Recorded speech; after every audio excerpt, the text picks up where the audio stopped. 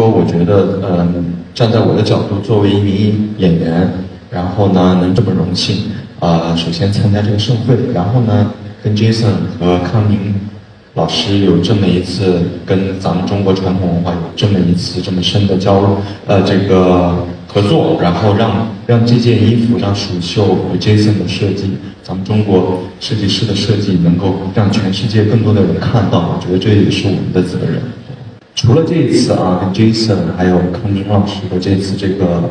呃首秀的这么一个服饰的这么一个制作，他也是优秀的很多中国的青年设计师。昨天在那个比赛上，我们的也都看到有很多。因为孤独症儿童这个群体呢，其实他们的家庭其实都非常的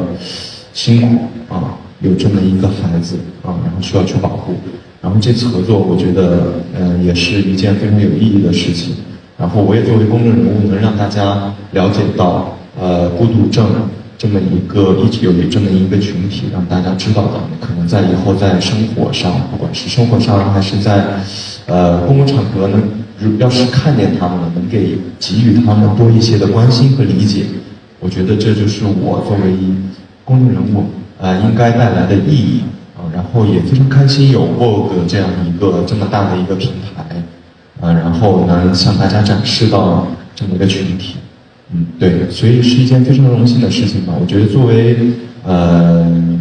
嗯公众人物，这是我的责任和义务。